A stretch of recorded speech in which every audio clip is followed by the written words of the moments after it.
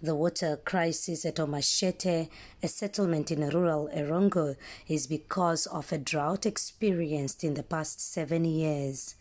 After underground water sources decreased, only one borehole remained operational to provide water to the community. A water truck transports water from other areas to Omatjete about three days a week to meet the demand. Residents, however, say it is not enough because their tanks are not filled to capacity.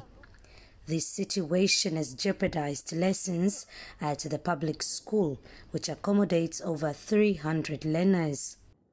We are cancelling school days because there is no water. Sometimes even the kids, we are asking them to bring water in small containers, at least so that they can manage from 7 to 1 o'clock Uh, really is a, is, a, is, a, is a serious problem. Some of the young teachers nowadays, they are also moving away because they cannot stay. It's just a place of not having water to use in toilet. The general hygiene at the health center is also under threat as steps are without running water.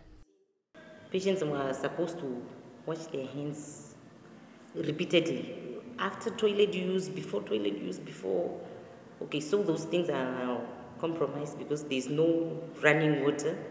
We collect from the tanks now ourselves with containers. Then we keep them, we have a storeroom where we are keeping our containers and also some buckets where we put in our toilets. Because most patients can come with vomiting or whatever or want to ease themselves. So that's how we are coping. A senior councillor in the Zeraua Traditional Authority says a tender to put up a 30 kilometer pipeline to transport water to Omatjete was advertised four months ago, but no company has been awarded the project yet. The procurement, you can mention it, is killing us. That is killing us, and uh, really, there's no water. So even you can just turn any tap here would not find any water here. So that's why we are saying uh, really um, the regional office who's uh, maintaining this project to bring us water must fast track so that we can at least uh, early next year we can have water.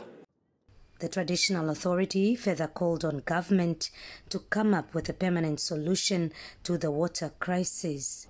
A second seawater desalination plant has been approved for construction near Swakopmund to solve the crisis, especially in Daures.